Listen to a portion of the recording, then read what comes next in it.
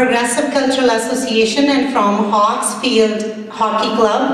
ਇਹ ਬੱਚੇ ਚਾਰੋਂ ਬੱਚੀਆਂ ਤੁਹਾਨੂੰ ਰੀਅਲ ਲਾਈਫ ਸਟੋਰੀਜ਼ ਦੱਸਣਗੀਆਂ ਜਿਹੜੇ ਬੱਚੇ ਡਰੱਗ ਦੇ ਵਿੱਚ ਫਸ ਗਏ ਤੇ ਫਸ ਕੇ ਫਿਰ ਨਿਕਲੇ ਤੇ ਫਿਰ ਕੀ ਫੀਲ ਕਰਦੇ ਨੇ so these kids will tell you sum real stories of drug addicted kids that were involved in drugs and they got out somehow. So uh, these kids watched it on YouTube, their life stories, then they wrote it and then they're going to present you.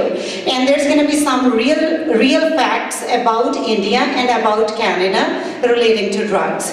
I am Prableen. I am in grade 5. I will be sharing a true story whose character is a girl called Mara. The story's name is Drug is not a substitute for self-confidence. Mara started drinking at the age of 10 and in grade 6. Now in this story, I will be Mara. I started drinking in grade 6 and at the age of 10. I like the feeling. I like going to underground parties. When I was small, I was really shy. Whenever strangers talked to me, I, I would start crying. I felt like I was not normal, and drinking helped me get rid of that feeling. I continued taking drugs until I was 30. I got involved with a drug dealer and got hurt in a shooting. I was on lots of pills and got all the prescribed medicine from a doctor in a pain clinic. It was only a five minute visit and he will write you all the pills you wanted.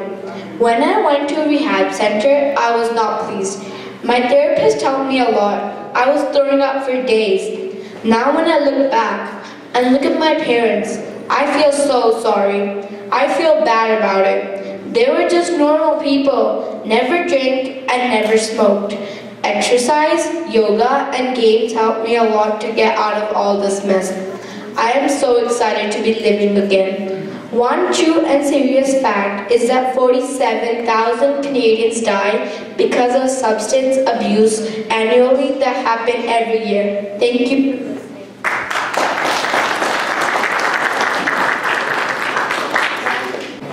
I will be sharing some shocking facts about drug addi- addiction.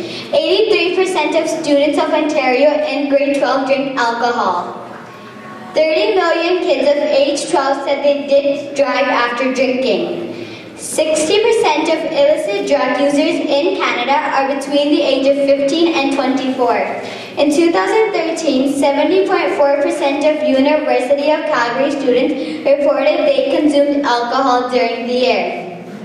Painkiller prescriptions have increased 850% in 10 years. 11.2% of University of Calgary students reported that they had consumed prescriptions drugs that were not prescribed to them. Save coming generations. Do read books, go to the gym, spend time with your family. Be aware to keep yourself away from drugs. Thank you.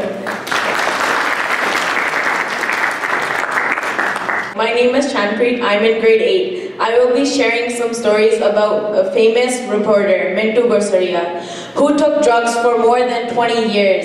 He was a famous kabaddi player, which is a favorite game of Punjabis.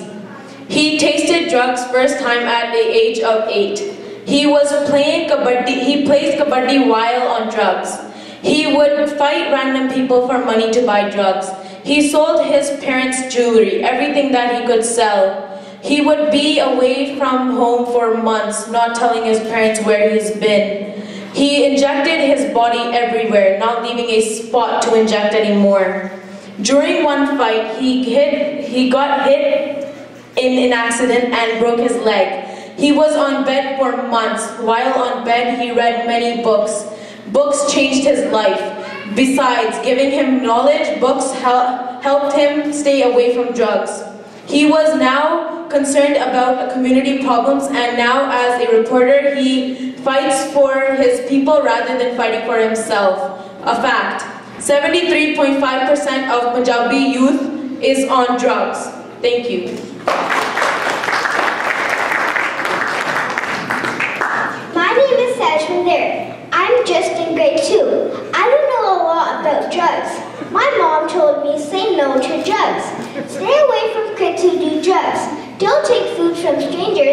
Drugs are not healthy. They are not good for your health.